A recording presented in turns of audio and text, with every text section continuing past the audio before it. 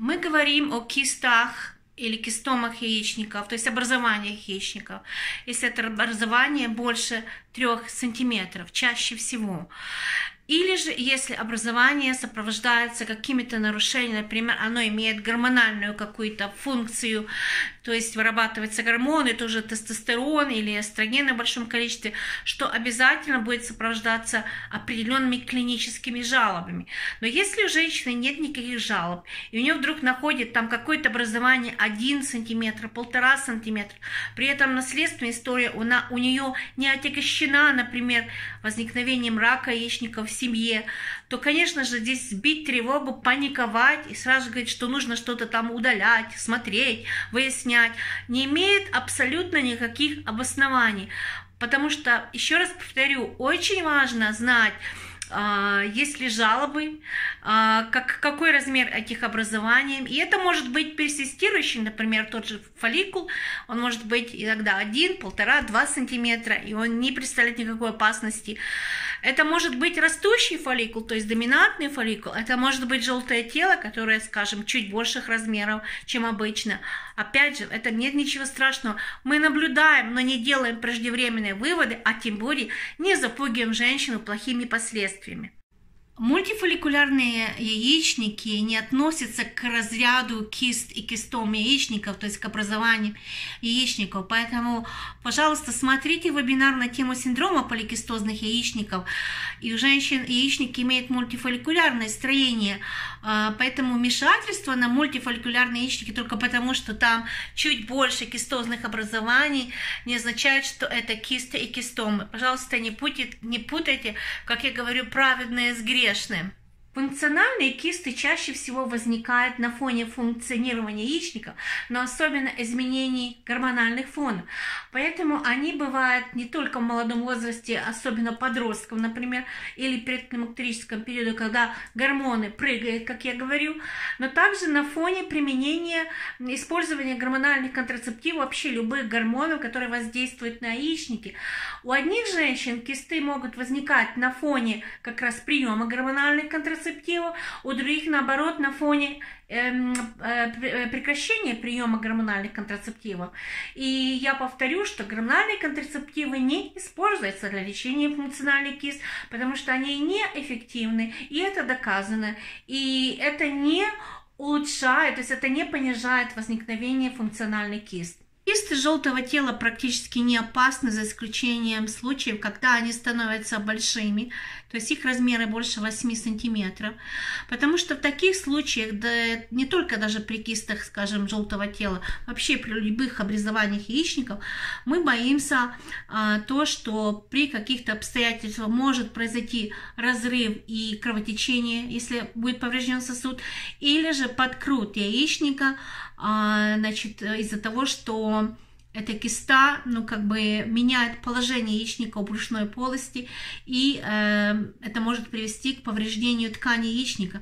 Поэтому при возникновении болевого синдрома обязательно нужно сделать УЗИ и обязательно как бы пройти определенное обследование, хотя бы выжидательная тактика может применяться, но хотя бы наблюдение э, за симптомами, которые нарастают. И если размеры этого образования большие, то, конечно же, его лучше удалить э, заранее, чем ждать, пока э, пройдет действительно серьезное повреждение яичника или же эта киста лопнет и может быть кровотечение. Мы не используем антибиотики при лечении э, кист, то есть при, при обнаружении кист яичников или кистом, то есть любых образований яичников, хотя бы потому, что Э, они здесь неуместны. Это не воспалительный процесс, не воспалительная реакция, это не связано ни с каким видом инфекции, поэтому это будет лишним.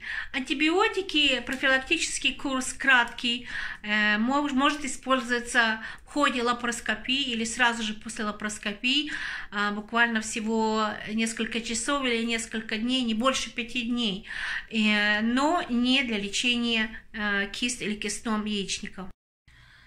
А если размер образования не больше 6 сантиметров, женщина может спокойно заниматься и физкультурой, и фитнесом, э, плавать, ходить в сауну и там баню, например. То есть абсолютно нет никаких ограничений в жизни женщины. Однако, если, скажем, образование больших размеров, больше 6 сантиметров, например, 8-10 сантиметров, выжидательная тактика применяется очень редко, в основном только месяц-два. И если это образование не уходит, конечно же, может произойти разрыв этой же кисты или же перекрут яичника, что может потом иметь негативные последствия. И это может, ну, может как бы случаться. Во время интенсивных физических нагрузок, занятий, например, в спортзале, прыжков, кувырков, то есть резких движений, также езды на э, лошадях, то есть на ездовая, ездовой вид спорта, и может быть при половом акте, половой акт, особенно интенсивный, при наличии большого образования, большой кисты или, или э, значит, большого образования в яичнике может привести к осложнениям, а, в том числе к разрыву или и с кровотечением, возникновению болевого синдрома. Поэтому, если что-то большое не уходит из малого таза, не исчезает самостоятельно, его желательно удалить. Фолликулярные эндометриоидные кисты не страшны в большинстве случаев при беременности, если их размеры не больше 6 сантиметров.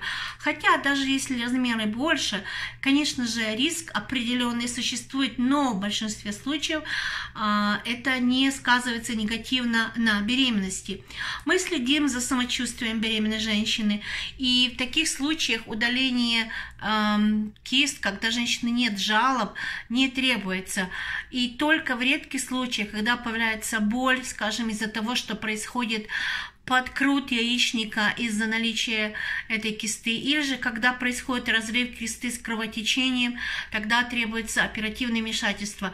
Сразу вас успокою, что такие э, вмешательства проводятся чрезвычайно редко, поэтому даже кисты э, или кистомы размерами 10 сантиметров, 12 сантиметров могут вполне наблюдаться до конца рода. Они не мешают чаще всего в период родовой деятельности, если, конечно, они не размещены близко к э, началу родовых путей, э, и чаще всего они находятся в брюшной полости позади матки, поэтому действительно э, очень редко мешают рождению ребенка и прохождению его через родовые пути. Дорогие женщины, пиявки не используются для рассасывания кист и кистом, то есть для рассасывания образования яичника. Если врач вам назначает пиявки во влагалище или на живот, якобы для рассасывания кист, я настоятельно вам рекомендую больше не ходить к такому врачу вообще никогда, то есть поставить на нем крест и забыть к нему дорогу, потому что это не просто отсталость, это шарлатанство, это неэффективно, это выкачивание денег, и это, конечно же, использование абсолютно, это даже не лечение, понимаете? Поэтому очень вас прошу, не верьте таким врачам и старайтесь быть от них подальше в стороне. В Советском Союзе и до сих пор в советских странах очень популярно использование так называемых различных ферментов, декстраз, лангитазы и многие другие, которые якобы могут рассасывать кисты, спайки и все только что не хочешь. На самом деле эти препараты совершенно неэффективны, мы их не используем при обнаружении а, каких-то образований в яичниках, и наоборот, они могут вызывать аллергические реакции. Это биологически активные вещества, которые могут оказывать крайне негативное воздействие на на самого человека, на женщину. Поэтому во всем мире от этого отказались и используют, ну, разве что в очень ограниченных случаях, но не в акушерстве и не в гинекологии. Поэтому, если врач назначает что-то якобы рассасывающееся для лечения, так сказать, кист, то это отсталый врач, и поэтому не нужно даже к нему ходить.